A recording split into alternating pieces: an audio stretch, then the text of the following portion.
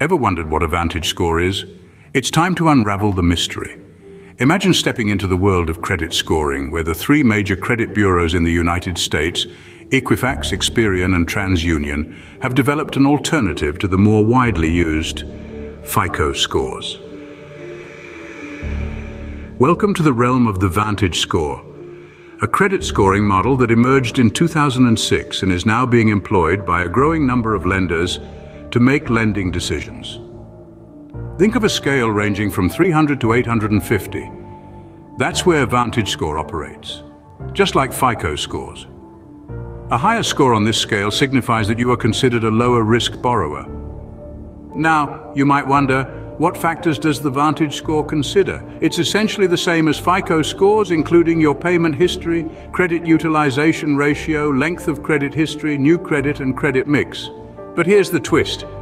Vantage score assigns different weights to these factors than FICO does. Fast forward to the present.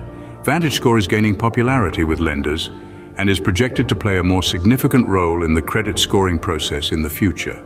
Let's highlight some key differences between Vantage Score and FICO scores. Firstly, Vantage Score, being the new kid on the block, is not as widely used by lenders as FICO. Secondly, the weights assigned to the factors that contribute to your credit score differ from those of FICO.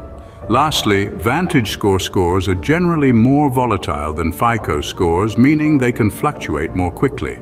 Curious about your Vantage Score? You can access it for free from several websites, including Credit Karma and Credit Sesame.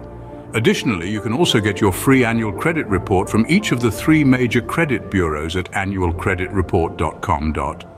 The question then arises, should you focus on your FICO score or your Vantage score? The answer depends on your individual situation. If you're planning on applying for a loan or credit card, it's a good idea to check both of your scores.